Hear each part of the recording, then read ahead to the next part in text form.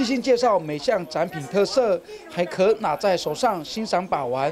由休沐于北户国际原住民文化艺术团举办的国际原住民文化艺术秘鲁与台湾对话展，六号正式展开。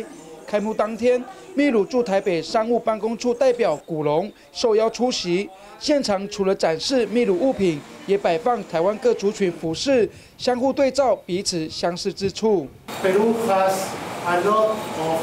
History. As you can see in all the stuff that you have, it's very beautiful to know how similar are our cultures. 常年在国外教学展演的艺术团长古秋妹，近年受到疫情影响，无法出访各国进行观摩交流，因此为了让台湾社会认识不同国家族群文化、人文风情与历史文物，因此举办以秘鲁为主题的展览。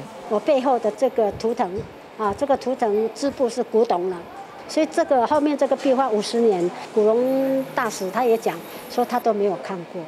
哦，所以这个东西就很稀奇珍贵哈，纯粹是要把我我懂得、我学的、我得到的来分享给我的同胞。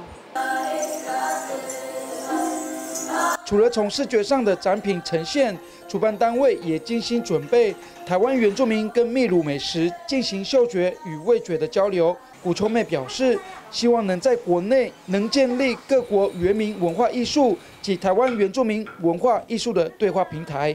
如是新闻，布拉瑞安胡树马杜新北板桥采访报道。